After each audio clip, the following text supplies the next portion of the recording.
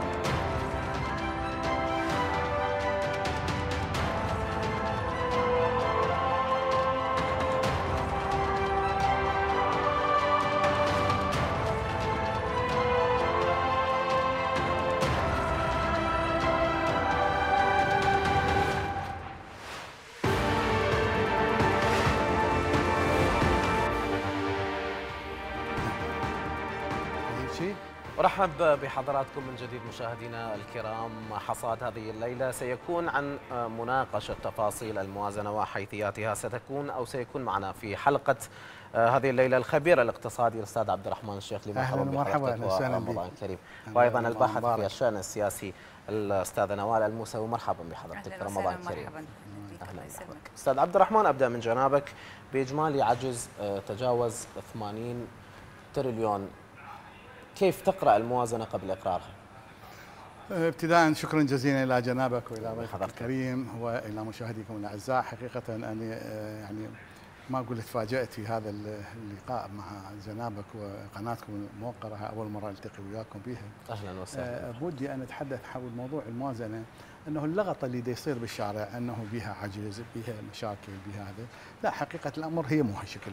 هي كان أكوش عجز آه، بحدود 64 آه، تريليون دينار عراقي في الموازنه الثلاثية اللي ابتدأت في عام 23 قبل ما تقر.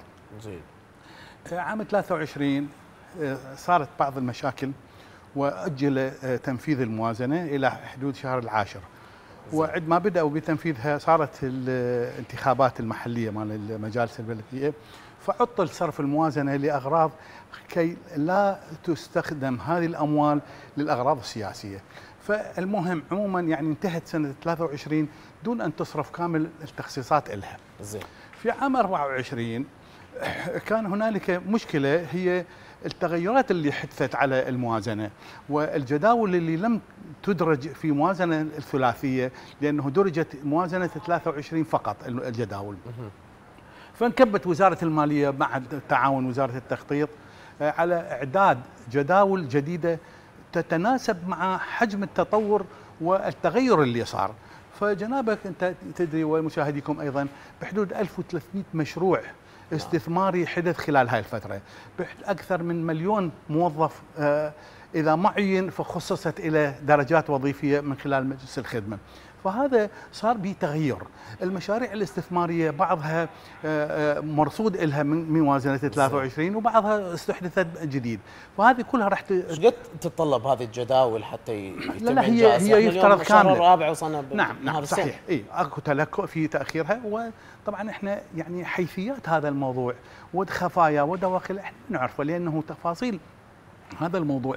دقيق فليس من آه، المعقول ولا من المنطقي أنه نستخدم هذه المسألة بليلة وضحاها. لا لابد أن تدقق وتؤخذ في نظر الاعتبار كل الأحداث اللي ممكن أن تصير واللي صارت. فمثلا السيده وزيرة المالية أعلنت قبل أيام انه اكملت الجداول وعلى أساس ترسل هذه الجداول إلى مجلس الوزراء لغرض المصادقه عليها وبالتالي رفعها إلى البرلمان.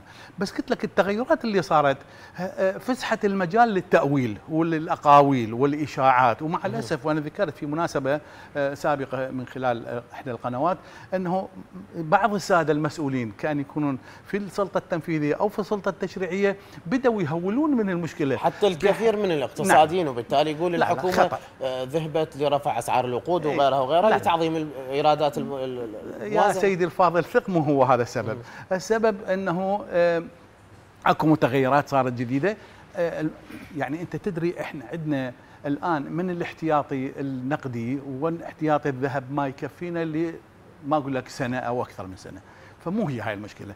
لكنه البعض قلت لك ذهبوا خاصة من السلطة التنفيذية وحتى من السلطة التشريعية ومع الأسف. ومن السلطة التشريعية وبعضهم في اللجنة المالية مع الأسف ذهبوا إلى آه، آه، تشييع أو محاولة تخويف المواطن على أنه الرواتب ما راح تصرف وما راح يصير راح يصير عندنا عجز لكنه بالعكس أنا كمراقب للأحداث ومتتابع لهذا الموضوع أعرف وأدرك أنه حتى العجز اللي كان موجود في موازنة 23 قد انخفض إلى أكثر من نصفه. ممتاز. نعم. سنوال رحب بحضرتك مرة أخرى مجلس النواب فاقد للبوصلة السياسية حاليا بعض الاختلافات داخل المجلس ما بين القوى السياسية هل ستمرر وسيتم الاتفاق على آه، اتمام جداول الموازنة أم أنها ستشهد أيضا تأخيرات إلى ما يصل إلى الشهر السادس أو أكثر؟ تفضل. أه، بالبدء تحية طيبة لحضرتك مرة أخرى للضيف الكريم لجمهوركم وشكرا على هذه الفرصة. أه، باعتقادي أنه ما أه، تناوله السيد بمسائل فنية ومتعلقات بالجانب الفني. لكن باعتقادي أنه عام 23 كان هناك لغط كبير عن الموازنة ولهالسبب مررت بثلاث سنوات فيفترض أنه هذا التأخير الحاصل يكون اليوم يعني ما نشهده بهذه العام يعني عام ما صار تقريبا ست أشهر أو عشرة أشهر أقل عن الإقرار الموازنة السابقة. بالتالي إنه سهولة ومرونه ومرونة تمريرها المفروض تكون مهيئة. لكن نتيجة الخلافات السياسية اللي ما تخفى على أحد وتحديدا كما تفضلت في البرلمان البرلمان ما عاد إلى هذه الفاعلية الكبيرة اللي ممكن أنه اليوم تمرر موازنة بدون أن تكون هناك اتفاقيات سابقة. هسه إحنا ما يعني حضرتك أشرت إلى أهمية التوافق بموضوع تمرير الموازنة وأنا أتفق ويا حضرتك أنه بدون توافق والتوافق المشكلة أنه إحنا ما عاد القوى السياسية تتفق على آه، موضوع مثلا على سبيل المثال تمرير الموازنة اللي نتحدث نعم. فيه. آه راح يربطوه بمسائل وجوانب أخرى. أكيد. راح يربط سياسيا مع بقية المطالب للكتل السياسية. راح يربط مثلا مع بعض يعني بعض الكتل السياسية تراه مثلا آه، جزء من استحقاقها.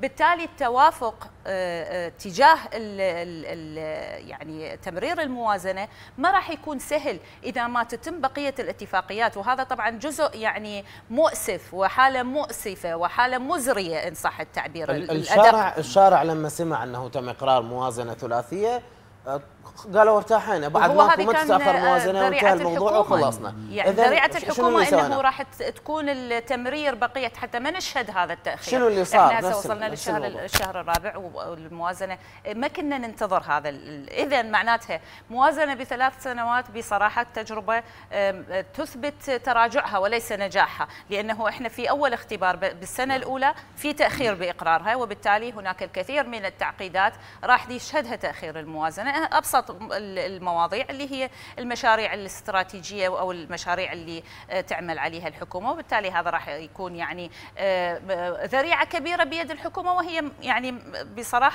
يعني لها حق إنه طالما هناك تأخير فبالتالي راح يأثر على المشاريع اللي تطلقها. نحتاج توافق سياسي لإتمام هذا الموضوع لو ممكن المشكلة توافق. أنه الطبقة السياسية عليها أن تعي. إنه الملفات يجب أن تعزل وتفصل، لا يجب الركون إلى الاتفاق حول الموازنة مع آه، آه، بقية المشاريع والمواضيع ال- وخصوصا ذات البعد السياسي فيها، يعني اليوم إحنا للأسف ومن خلال المراقبة والمتابعة لصيغة الخطاب الذي يدلو به السياسيين نلاحظ أن آه، مسألة المساومات بادت بات- باتت تسيطر على المشهد السياسي. وهذا ما يعيق بالتأكيد يعيق البرنامج هذا الحكومي اللي لازم يصير لكن اليوم القوى الكردستانية ما راح تقول عندي ازمه أزمة رواتب. تعالوا حلوا هاي الأزمة بالتالي أنا نصوت على تمرير الموازنه ل- الجانب أيضا ال- السني يقول لك أنا عندي مشكلة اختيار رئيس البرلمان. تعال حلي هاي المشكلة حتى نقعد نتفاهم الم- المره الموازنه بالتأكيد فهو هذا اللي راح يعني آه، باعتقادي إذا لم تحل هذه المواضيع لا التمرير صعب وإن تم تمريرها فراح تكون آه، يعني بقية القوى والكيانات السياسية هي أول المعترضين في قادم الأيام. لربما إن لم يكن الاتفاق على آه، بعض الملفات السياسية هي ستواجه مثلا أنت تعرف يعني خصوصا بالانتخابات المحلية. الانتخابات المحلية تقريبا أغلب الكتل السياسية حصلت على مقاعد بالمحافظات إن لم يكن يعني درجة المحافظ نعم. فبالتالي هذا راح يكون عائق أمام إكمال الاستحقاقات من خلال عدم الاتفاق طبعا إحنا ما نقدر نفصل إحنا المشكلة مو مو بال, بال يعني بالقوانين أو بطريقة صياغة القوانين، المشكلة السياسية بتعامل الطبقة السياسية نعم. مع بعضها من خلال آه، وضع العراقيل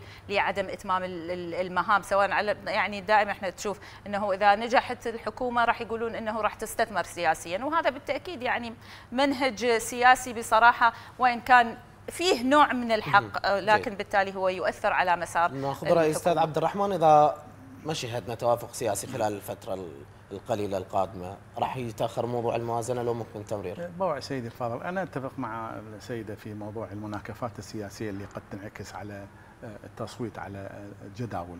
بالمناسبة أنا في أكثر من مناسبة ذكرت وأكدت على أنه هي الموازنة ليست ثلاثية ب- بمفهومها الحقيقي وإنما هي موازنة طويلة الأمد لثلاث سنوات وكنا نامل إنه هذه الموازنة الثلاثية راح تخلصنا من المناكفات السياسية باعتبار ما راح ينعاد مرة ثانية هذا المواطن يسأل. اليوم شنو اللي يتغير؟ بين الموازنة كانت سنة واحدة وبين ثلاث سنوات. لا. من كانت سنة واحدة كانت تدخل بكل تفاصيلها في نقاش وتقرأ مرة. مرتين ثلاثة بالبرلمان وبالتالي فعلا مثل ما تفضلت السيدة أنه كل من يريد حصة وكل من يريد آه، آه، مقابل الموافقة على هذا ال- ال- التصويت محصلات أخرى لكنه الآن الموافقة على المو- الموازنة منتهية. بقت موضوعة الجداول الجداول بها فقرتين مهمة كلش. هي موضوعة التخصيصات ال- آه، المالية للمشاريع الاستثمارية والدرجات الوظيفية. أضيفت إليها فقرة أخرى هي موضوعة النفط آه، وموضوع الإقليم كردستان.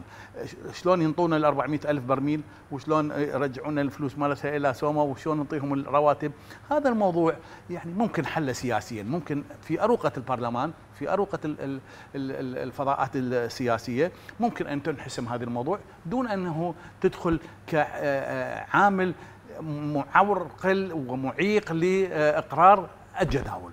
وأنا اكد موضوع اللي المشكلة الآن هو فقط الجداول، الجداول بها قلت لك فقرتين ماليتين هي موضوعه الوظائف الدرجات الوظيفيه والتخصيصات الاستثمارية. الاستثمارية كانت بعض المشاريع في موازنه ال 23 كانت موجودة لكنه ما نفذت، فالآن معطلة لكنه تخصيصاتها موجودة.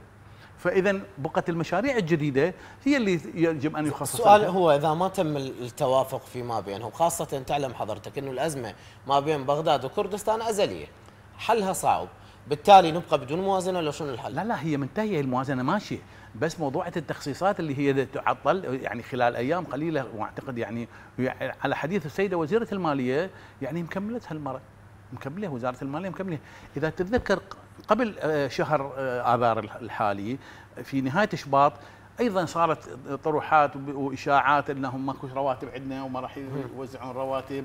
واحدة من عضوات مجلس النواب صرحت بأنه هذا الشهر غسلوا ايدكم ماكو رواتب.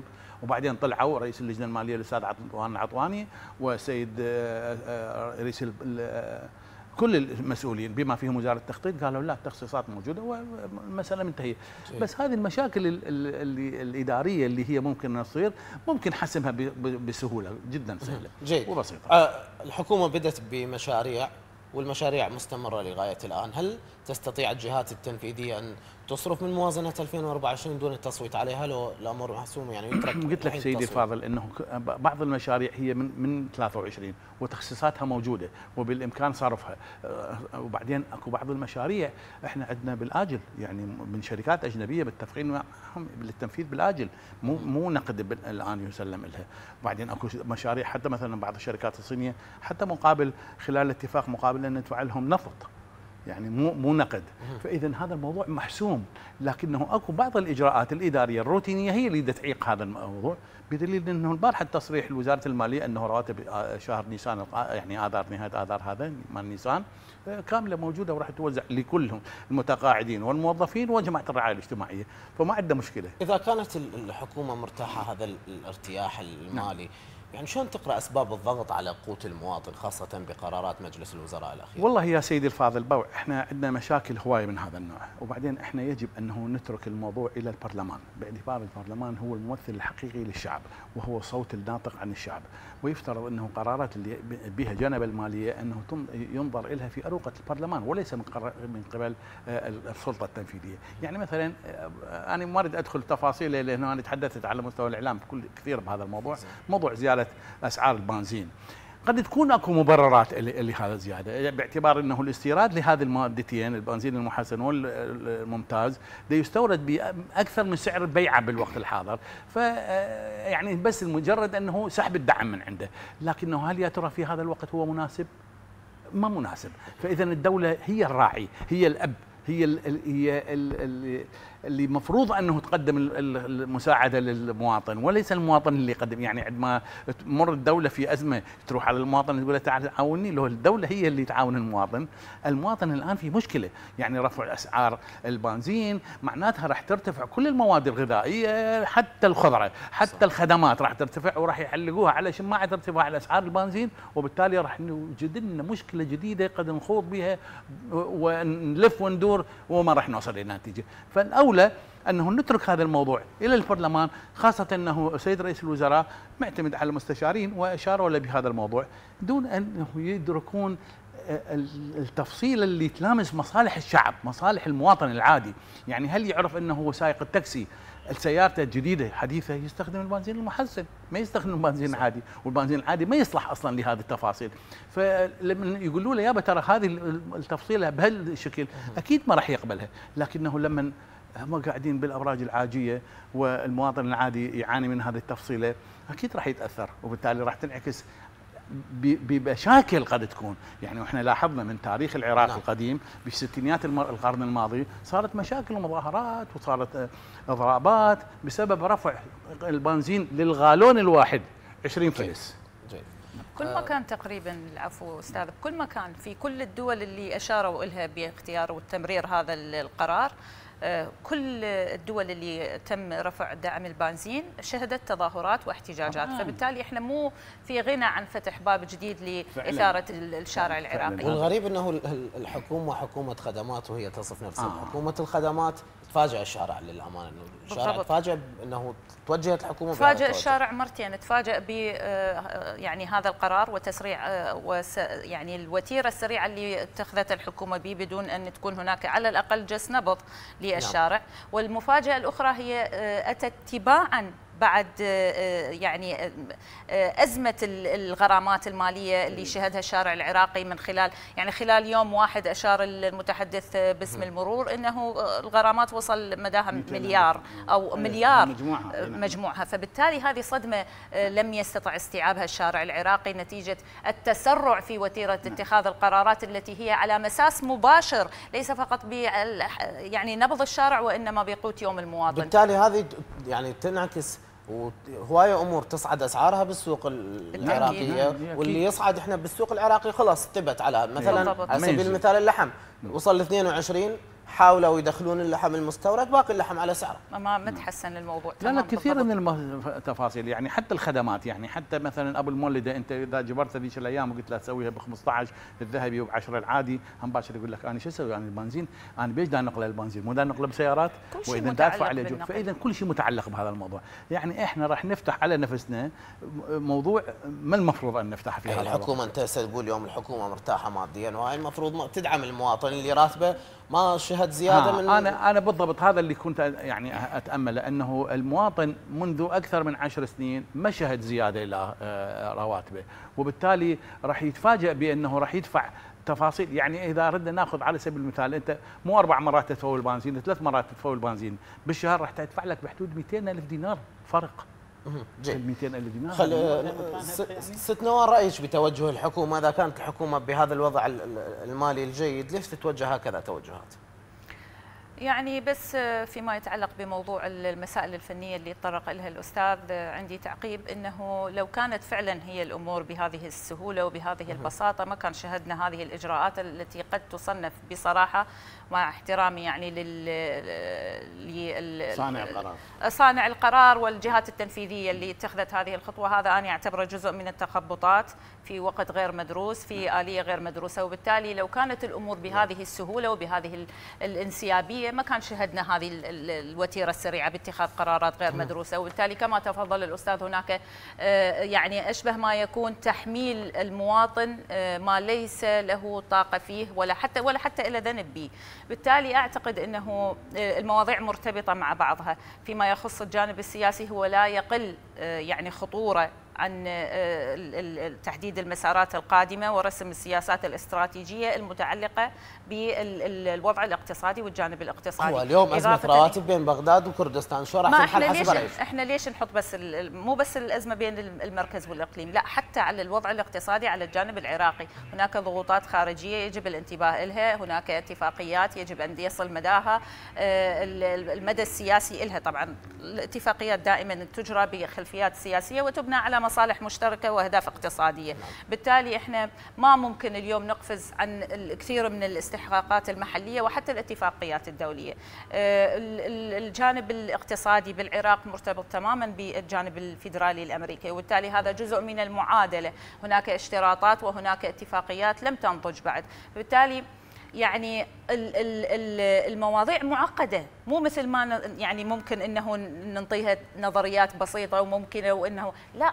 النظري الوضع معقد الوضع شائك جدا. أنا بالنسبة لي كمراقبة أشوف اليوم إحنا نمر في أسوأ مراحلنا بالنسبة للعملية السياسية وبالنسبة للكتل السياسية وبالنسبة للوضع العام بشكل عام يعني. إحنا يعني نتفائل أوكي ممكن أنه مثلا نستثمر ببعض التحركات اللي تصير على مستوى يعني التحركات الحكومية نعم. النشاط الحكومي افتتاح الشوارع بناء الجسور هذه كلها محفزة صح صحيح؟ صحيح لكن إحنا بالتالي يجب أن ننظر إلى العراق كجزء مكمل من هذه الخارطة الجغرافية يعني لا هو منعزل بجزيرة منفردة نعم. وممكن إنه السياسات الاقتصادية تمر مرور الكرام وبكل سهولة ولا ممكن إنه نشهد هذه الاقتصاد الاستثمار بمشاريع عملاقة كما يعني خططت له الحكومة. هذا مو ممكن هذا مو متاح. إحنا اليوم لازم نواجه المخاوف. الدولة الحديثة ما تواجه اللي بين إيديها تواجه المخاوف المستقبلية وتبني رؤى واستراتيجيات مستقبلية وتقيس المستقبل على الحاضر مو بالعكس إحنا مو نقيس الحاضر والله وشنو بدينا وبعدين إحنا مستقبلنا مجهول. وهذه النقطة اللي يجب الانتباه لها من خلال دراسات خمسية وحتى عشرية وحتى ممكن إن تكون 15 سنة اللي قدام نعم. تقدم لك دراسة للناتج المحلي لطريقة الاستثمار لطريقة توزيع موارد الدولة لطريقة تعظيم موارد الدولة. نعم. مو اليوم اني أطلعها بخطوات سريعة ومستعجلة وبدون دراسة وجدوى اقتصادي. كيف تعاملت الحكومة مع هذه الأزمات المتراكمه خلال عمرها اللي هو سنة ونص تقريبا. يعني إحنا ما نريد نقول الحكومة آه، يعني مرتاحة تماما. آه، رغم إنه وجود فائض مالي رغم وجود آه، يعني قوى سياسية داعمة لكن بالتالي وصلنا للمنطقه الجدية. هذا بالبداية كله كان يعني تحديات بسيطة تحاول الطبقة السياسية تعكس الجانب الإيجابي. لكن أكو نقطة خطر بالمستقبل حتى من ضمنها مثلا إحنا حتى نعرف إحنا إيش يصير مسألة الانتخابات المبكرة وضرورة اجرائها للبعض لبعض الكتل السياسية نعم. اللي هو يتعارض مع مثلا مع رغبة وطموح الحكومة، الحكومة تقول لك أنا مستقرة وأريد أكمل مشروعي بالنسبة للسيد محمد الشيعي السوداني يريد يكمل برنامجه الحكومي ويطمح إلى انتخابات يعني في موعدها النهائي في آه، عام 25 لكن هناك كتل سياسية تحاول أن يعني تضغط من هذا الجانب. مرة مثلا من خلال ما تراه استحقاق سياسي. ومرة من خلال ما تحاول السيطرة عليه من مكاسب مالية من خلال منح وزاراتها من خلال يعني منح المحافظين كما أشرت لك سابقا. فبالتالي الحكومة قد تحاول إنه تقفز على بعض المشاكل الحقيقية ما تواجهها. تطرح مشاريع يعني آه، آه، يعني قد تكون هذه المشاريع مشغلة للرأي العام، لكن هي ما تعالج المشاكل الحقيقية اللي إحنا نعانيها، الجانب السياسي جدا مهم، الجانب السياسي واستقرار الكيانات السياسية وحتى إنه نعم. ما تكون هي عنصر ضغط، اليوم آه، إثارة موضوع الانتخابات المبكرة هو عنصر ضغط على الحكومة لحتى تحصل الكتل السياسية. إن لم نقل نقل على مكاسب يعني مالية قد تكون مكاسب سياسية. اذا إذا تسمحون نتابع أبرز التغريدات المطروحة على منصة إكس أو آراء الناس بشأن الموازنة وتفاصيلها.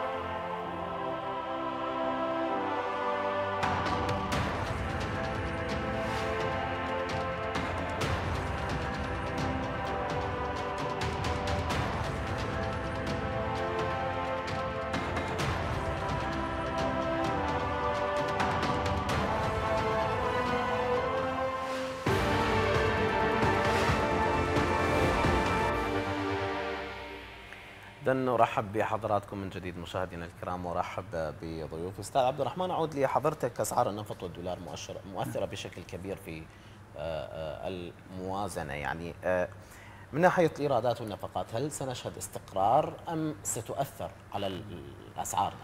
ابتداء سيدي الفاضل أنت تدري النفط مادة حساسة ومادة متعلقة بأسعارها بالوضع السياسي، الوضع العسكري، عموم الأوضاع في العالم وليس في البلد فقط. تتأثر به ولذلك إحنا قبل ما نبحث في موضوع تمويل الموازنات دائما بنسبة 95% من من التمويل مالها من النفط يجب أن نبحث مصادر بديلة لتمويل الموازنة، إذا ما وجدنا مواد جديدة لتمويل الموازنة سوف نبقى بحالة هشة وسرعان ما نتفاجئ في يوم من الأيام أنه أسعار النفط انخفضت إلى ما أقل من ما موجود في الموازنة، الموازنه بالمناسبة محطوط على 70 دولار. والإنتاج 3.5 برميل يوميا 3.5 مليون برميل يوميا. لكنه يفترض أنه إحنا عندنا إمكانية أنه نوصل إلى حد بين 9 إلى 10 مليون برميل يوميا. هذا الموضوع إذا ما نحسمه بطريقة سليمة شنو الإيرادات البديلة اللي صار 20 سنة نتحدث عنها وبشنو؟ الآن يعني جنابك لو زاير معرض بغداد بدورته الأخيرة لكن لاحظت وتلمست فعلا إن هنالك حركة بالاتجاه الصحيح. قد لا تكون الحركة بالاتجاه اللي يغطي كل مساحة الصناعة والزراعة بالعراق لكنه على أقل تقدير يقلل من نسبة الاستيراد. أنت تدري العملة الصعبة اللي نتقاضاها مقابل بيعنا للنفط بالكامل تستهلك لغرض الاستيراد الخارجي. لكنه لو على الأقل وفرنا آه، هذه العملات اللي بالداخل واعتبرناها ضمن احتياطياتنا وقدرنا نستعيض عن كثير من المواد الاستهلاكية. يعني أنت تدري المنافذ الحدودية يوميا تستورد اللبن والطماطة والخيار والخضرة. هذه لو قدرنا نأمنها لا قدرنا إحنا شنو اللي منعك ما تأمنها؟ بابا سيدي الفاضل أنت طرحت موضوع وهذا الموضوع بجانب سياسيه كلش كبيرة. الاستقلال السياسي لحد الآن إحنا ما نمتلكه لحد الآن نخضع إلى تركيا نخضع إلى سوريا نخضع إلى إيران نخضع إلى الخليج بتحديد. يعني مثلا آه، تركيا تقبل إنه تستبدل 16 مليار دولار سنويا آه، نستورد من عندها؟ لو إيران 13 مليار تستورد من عندها؟ هذه مو من مصلحتها. يعني هذه الدول عايشة على العراق. لو أنتج العراق منتجات نفطية ومنتجات آه، صناعية وزراعية لكان ما ما راح راح يستغني عن هذه المستويات أنت اليوم إذا تريد تدعم القطاع الخاص وتعيد مصانعك يجي أبو تركيا يلزم إيدك؟ أي نعم يمنعك. وصارت وصارت وفي أحاديث سابقة لبعض الوزراء. وين دور الدولة أستاذ؟ نعم. دور الدولة وين؟ إي هي يعني يعني هاي التحديات كل كل الدول تشهدها مو بس العراق. أنا ليش قلت؟ الاستقلال السياسي. عندما يكون هنالك استقلال سياسي كامل بدون تأثيرات يعني إحنا نضطر أحيانا أن نقبل بشروط تركيا أو إيران لأنه الجيش هذا البككه مالتهم موجود في شمال العراق. ونخضع إلى إيران لأنه بعض المصالح مالتهم هنا. ونخضع إلى الخليج لبعض التفاصيل الأخرى. فعلى هذا الأساس الآن الآن بعد مرور 21 سنة من الاحتلال الأمريكي للعراق شهدنا نوع من التغير بالسياسة العامة للبلد نوع من الاستقلالية من استقلالية القرار. يعني أنت لحد الآن إحنا ما نقدر نبيع برميل نفط واحد بدون أن نودع فلوسه بال JP Morgan الامريكي يعني بوزارة تحت إشراف وزاره الخزانة الأمريكية. لو كان عندنا الاستقلال السياسي انه نبيع نفوطنا مو بالدولار نبيعها بال pound نبيعها باليورو نبيعها آه، آه، بالروبل نبيعها بأي سعر باليوان لكان إحنا عندنا صارت سلة عملات كاملة نستخدمها لاستقلالية قرارنا الاقتصادي، لكنه بما انه إحنا البروتوكول اللي معقود في سنة 2004 أيام حكومة بريمر انه لازم النفط ما نبيعها إلا إلى الجهات اللي توافق عليها الخزانة الأمريكية والمبالغ تودع في الخزانة الأمريكية وبالتالي إحنا ناخذها حسب الحاجة. لو كان عندنا هذا الاستقلال السياسي لكنا صرفنا ب يعني بطريقة حرية أكثر. ثم أنت لا تنسى الآن شهدنا مثلا معمل حديد الصلب. بدأ ينتج. هذا راح يخفض لنا نص الاستيراد الخارجي. يعني هاي المشاريع الاستثمارية اللي نشوفها يوميا من نطلع بالسياره نشوف الحديد هذا اللي موجود بعضه دا ينتج عراق محليا. إذا إيه هذا تم افتتاحه. لو تفتح لك فد 100 مصنع مثلا ولهذا أنا من قلت لك قلت لك لو رايح أنت المعرض بغداد ولاحظت أنه هنالك فعلا توجه حقيقي لنشاط القطاع الخاص خاصة لأنه القطاع العام ما يعتمد عليه. إحنا ندري الترهل اللي صار بالقطاع العام تدري جنابك ومشاهديكم يعرفون كل زين.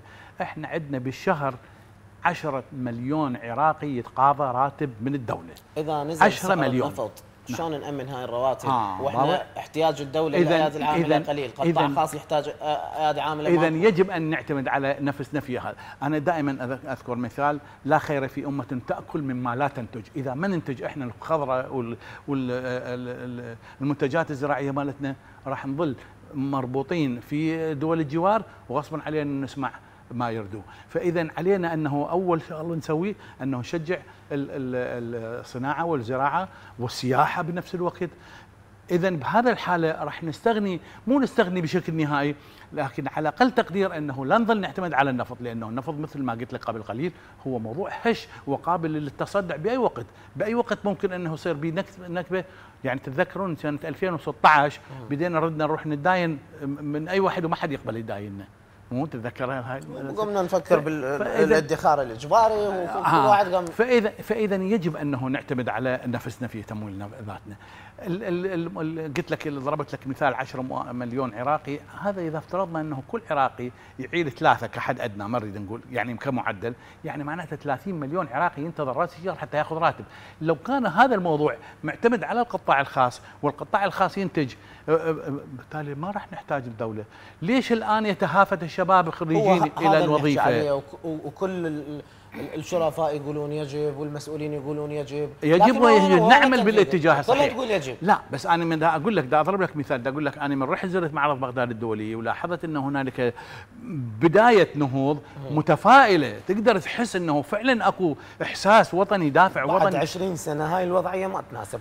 نوال اليوم اذا نباوع دول بصفنا المجاورة. حتى اللي عليها حصار عايشة على استيرادها سادة حاجتها وتصدر لكل الدول ومغطيه نفقاتها وزايد. إحنا اليوم يمكن معمل مال الجبن عندنا بس واحد آه، موجود لو اثنين يجوز. وكل سلعنا وأمورنا وهاي كلها من برا. بالتالي الشباب قاعدين لا شغل ولا عمل ومعتمدين بس على الموظفين. إذا نزل سعر النفط واحد يباع بوجه الثاني صحيح.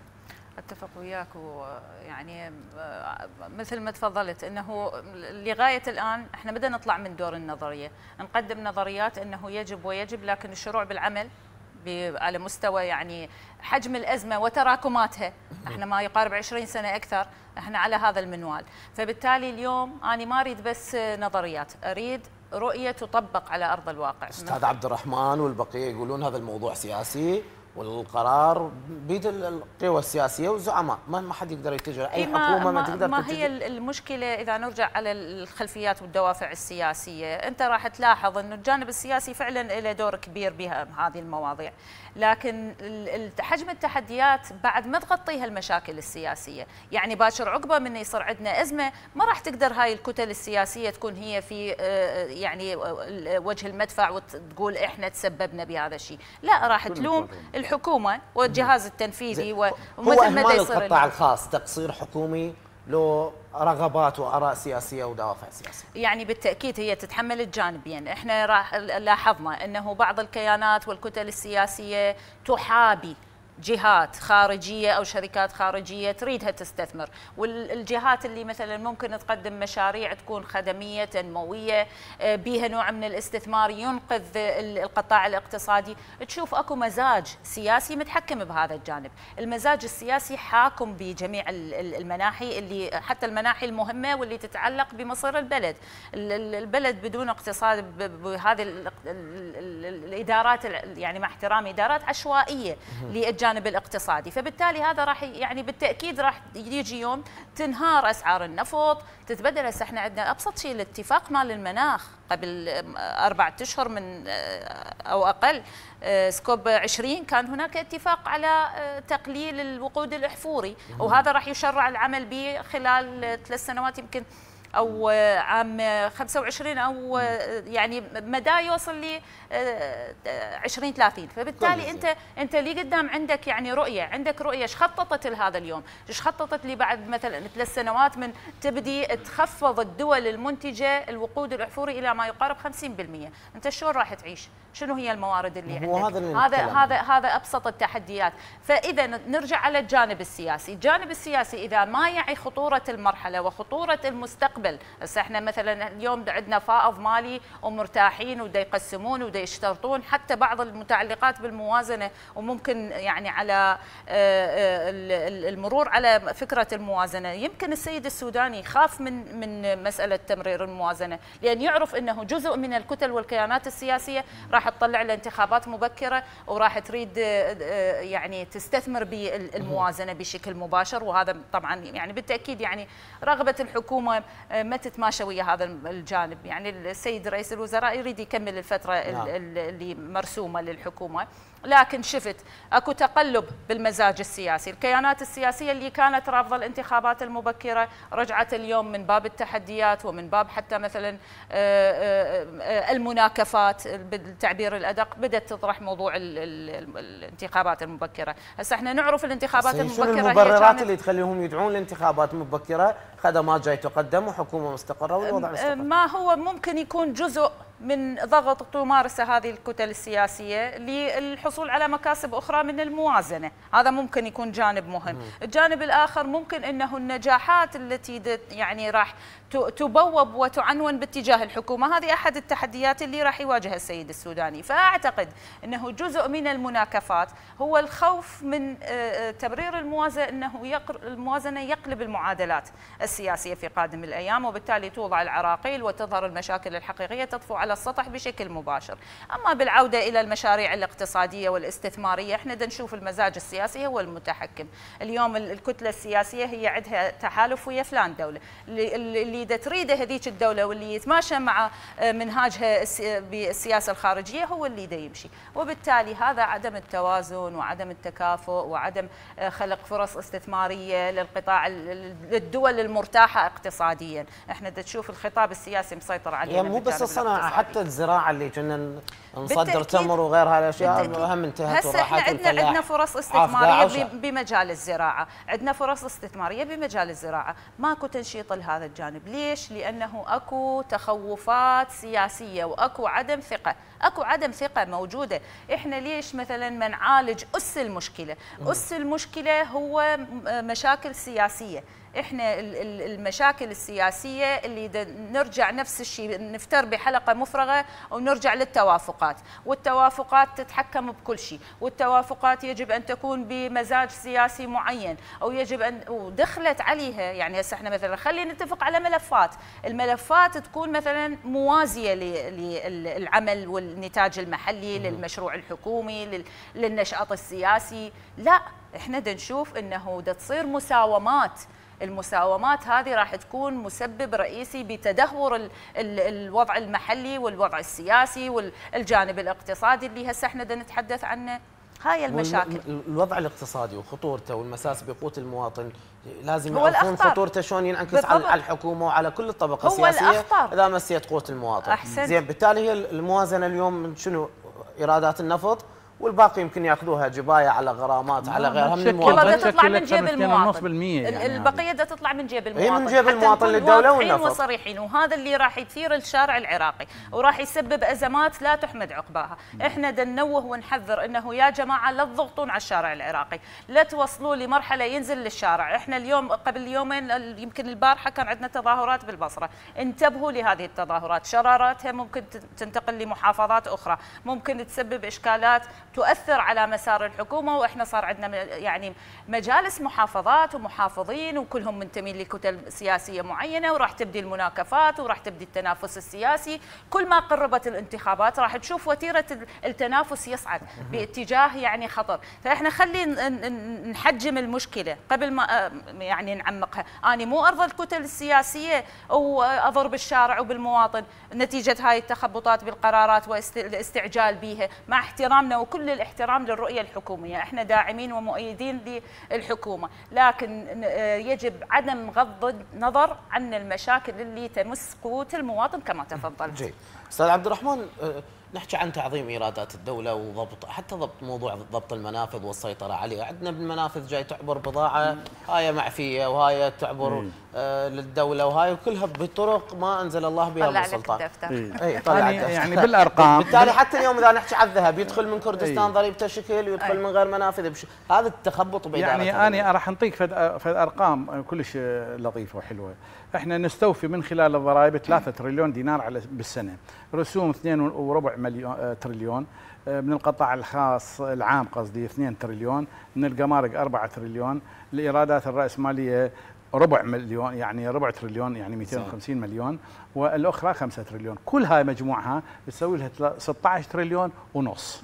16 تريليون ونص تشكل 17% من موازنة 23 اللي هي 200 مليار آه، تريليون. زين. فإذا صارت 230 مليار آه، تريليون بموازنة 24 راح تنخفض هذه النسبة لأقل من 16% مليار راح يطلعوه من تخفيض البنزين. لا يفوتك أستاذنا. لا يفوتك. البنزين يعني إحنا إذا والضريبة. إيه، من رفع الدعم عن البنزين؟ مليار. في حين آني إذا اريد استعيد بوقة واحد من ال- البوقات اللي اس- استولوا عليها خلال الفساد المالي والإداري. أعوض عن هذا ال- ال- ال- ال- الريع اللي دا يجيني اشتغلوا على هذا الموضوع.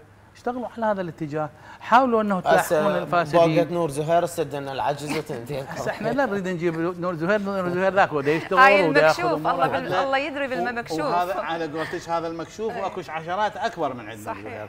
فإذا الموضوع يا سيدي الفاضل أكو كثير من المناظر المواضيع الست تطرقت إلى مواضيع مهمة جدا وهو موضوع ال- ال- التاثير السياسي. ال- إذا ما نكون عندنا استقلالية بقرارنا السياسي من وقع عقد لمدة خمس سنوات نستورد غاز الإيراني وإحنا قبل فترة متعاقدين ويا شركات آه، دولية أن آه، نطور حقولنا الغازية وأن ال- ال- الغاز المصاحب للنفط نستثمره لغرض تزويد هو بس الغاز هسه الغاز والله نحل لا لا هذا نموذج. أنا من بالعراق. أنا من أحكي لك شركات الاتصال المليارات وينها الغيرها الغيرها آه يعني هذه هذه المواضيع المفروض كلها توضع في سلة واحدة وتنظر لها بنظرة مستقلة، أما أنه أنا أرضي فلان وأرضي فلتان ما راح نقدر نوصل لنتيجة، يعني ما تفضلت به السيدة قبل قليل أنه إرضاء إلى هاي الكتلة وذيك الكتلة وهذه الكتلة اللي ما حصلت آه، آه، إيه، مكاسبها. في هذه. الانتخابات راح يا سيدي الفاضل. إيه، يعني طبعاً. الحكومة هم إذا تريد هسه أبسط شيء إحنا تمرير الموازنة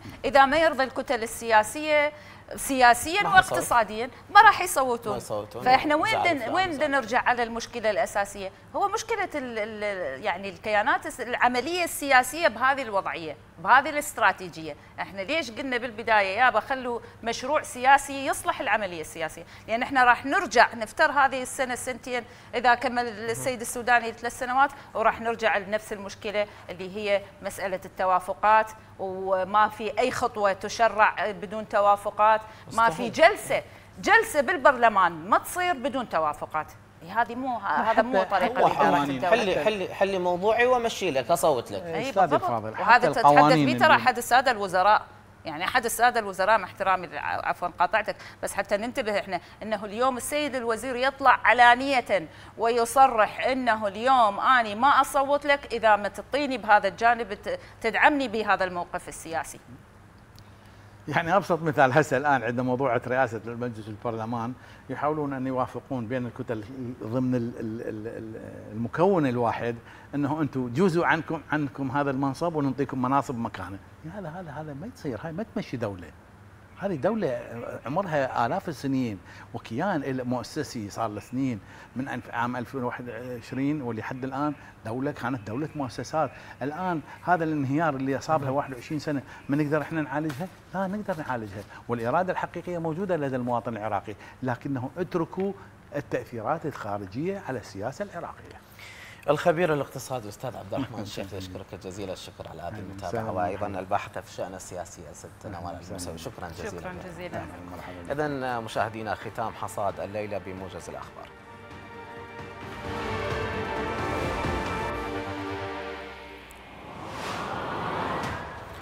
المؤمنون والعتبات المقدسة يستعدون لإحياء ذكرى استشهاد أمير المؤمنين عليه السلام.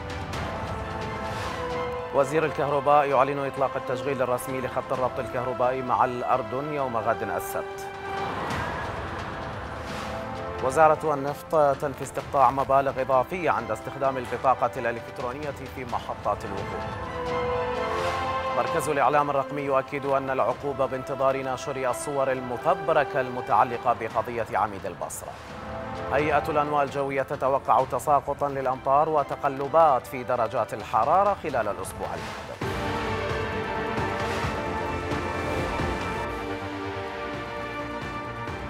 حصاد الليلة انتهى. شكرا لكرم المتابعة وإلى اللقاء.